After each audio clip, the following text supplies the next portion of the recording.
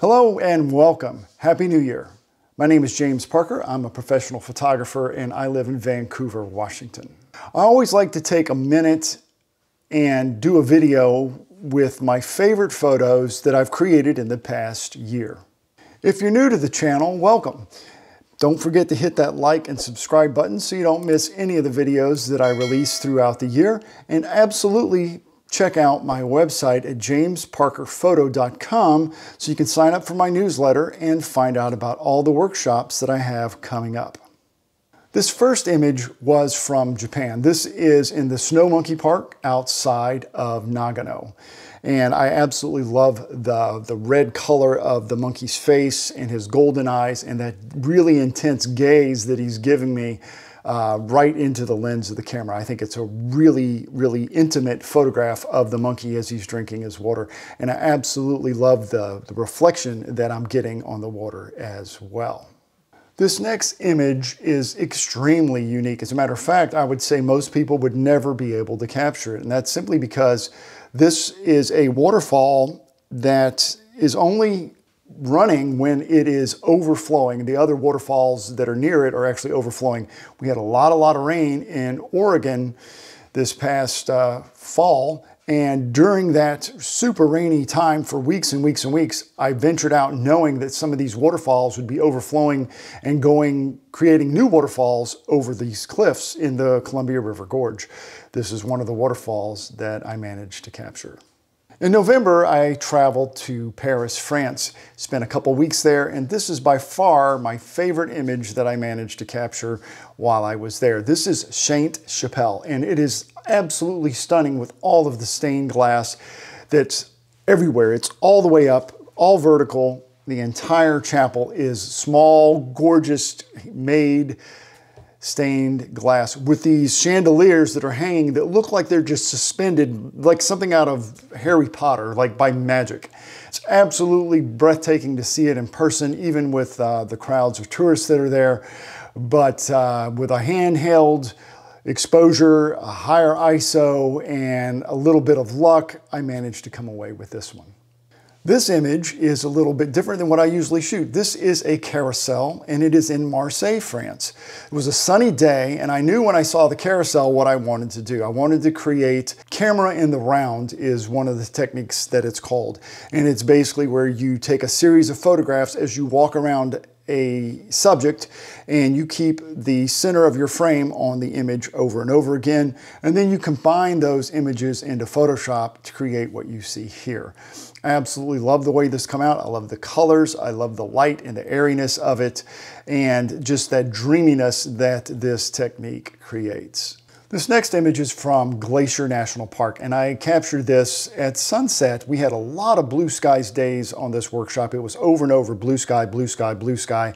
And finally, finally, we had a, uh, a, sunset that was shaping up to be spectacular, and indeed it was. It came out fantastic. Just an amazing color in the sky.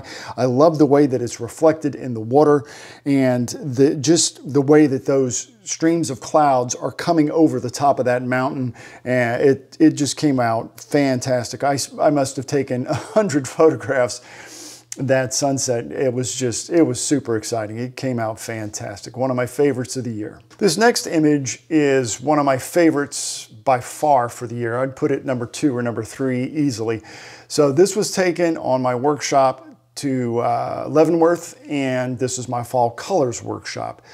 This one tree is was burnt during one of the wildfires uh, a few years ago, but you can see the vegetation has started to come back at the base. We had a really, really foggy morning, and that mist and fog was providing the perfect separation between the tree and the hillside in the background. It absolutely would not have worked at all had I not had that wonderful mist and fog that was separating and giving me that nice color and that gradations. If you look very closely at the very, very top of the photo, you can just make out the top of the mountains as the sun is starting to burn off that the, the fog. And I absolutely love the layers that I get out of this vertical panorama. Sometimes you go out to photograph a specific subject and then come away with something totally unexpected. And this was one of those mornings. This is an Olympic National Park, and that morning we were up at Hurricane Ridge. Uh, this was on a workshop, and this was in this the uh, the summer. We were waiting for sunrise over the Sound, and we were looking out, or over the Olympics. We were looking at the mountains, and then all of a sudden, I noticed that where we were, this grove of trees, as the sun was coming up, was getting backlit in a beautiful, beautiful way. It was just rim lighting those pine needles, the well, not the pine needle, but the needles of the tree. And then I had a little sunburst. I knew that if I could move quickly, I could could take and get really magnify that that rim lighting that was happening on the grass and the flowers and the trees, and then get a nice starburst effect as that sun started to peak up over that hill. And this is what I came away with. Absolutely love this. This is another one of those images where I was not planning on photographing this specific scene. This is in the Palouse region of Washington, and it's at sunset. I was up there on Steptoe Butte and I was looking out and I was watching the sun just rake across and create those really, really dramatic shadows in over those green fields, those rolling hills. But when I looked toward where the sun was setting and I saw this golden light just raking across the entire scene, I forgot all about the green and I went right to this. And I absolutely love the diagonals and the, the leading lines that take you right back into the, to the back, the brightest part where the sun, that golden orange sun was setting. Absolutely love the light. I love that low contrast and that lone tree in the foreground. Absolutely spectacular.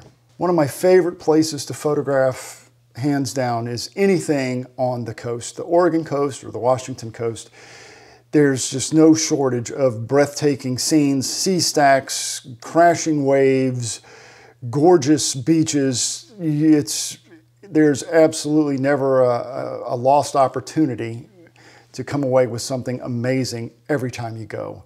This was a very moody, very, very cloudy, stormy sunset, as you can tell from the frame, from the image, and a little bit longer of a shutter speed really kind of moved those waves, gave you some motion in those waves. I absolutely love that breaking wave in the back and that motion in the foreground with the, that dark and stormy sky with just a little bit of orange that's peeking through from that sunset. Again, I love the colors in this image and I think it just came out really, really nice. There's no way that I could do a list of favorites and not include a few waterfalls because it's one of my favorite things to photograph. And I live in waterfall nirvana out here in the Pacific Northwest. It's absolutely wonderful. The opportunities are endless. And this one is no exception. This is in Olympic National Park. And uh, I absolutely love that the framing element of that tree on the left-hand side of the frame and that side light that it's catching a little bit, that little bit of rim lighting that's happening as that sun's coming into the valley. This was after sunrise and uh, the the bowl that the, the waterfall was coming into and with that tree going up, framing it on the left-hand side, absolutely, I think just makes the photograph complete. Back to Japan.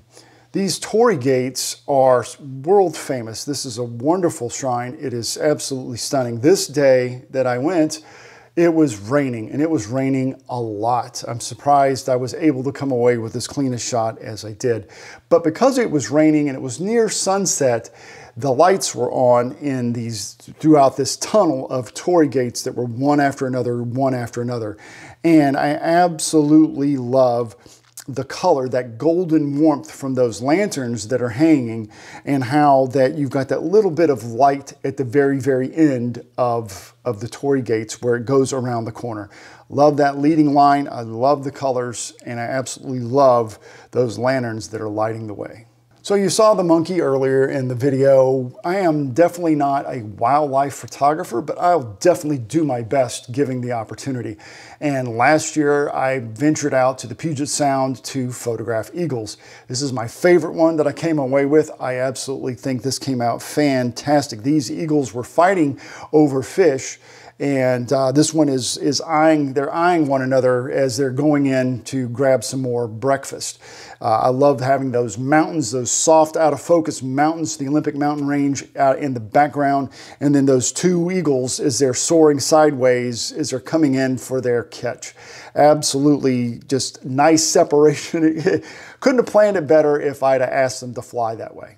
One more for the year. This one is also from Japan and Mount Fuji is the main star of this image and the cherry blossoms in the foreground and that wonderful shrine on the right hand side. I absolutely love the elements that all go together so, so well in this image. The cherry blossoms were at their peak.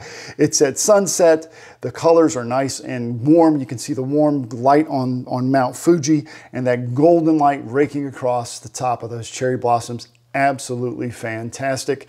Good lighting, being able to see Mount Fuji in the background. It was it was a wonderful, wonderful morning. Had a great, great trip, and this is one of my favorite memories from it.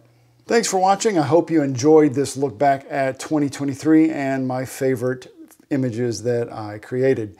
Don't forget to head over to my website, jamesparkerphoto.com. Check out my upcoming workshops. This year, I've got a lot of one day and two day workshops happening all over the Pacific Northwest. And then I've got three international trips. I've got one to Japan in April that's got a spot left, and then I've got Iceland in August, and then in September I'm going to Italy for two weeks, and that is going to be the most epic time you've ever had. If you've never been to Italy, you'll definitely want to go on this workshop. And even if you have been, you're going to have a lot of fun, and we're going to come away with some great images. Check all that out on my website under the workshop section. Don't forget to like and subscribe. It really helps my channel out. I really, really appreciate it. If you have any comments, leave them down below and I'll be sure to answer each and every one. Thanks for watching and we'll see you next time.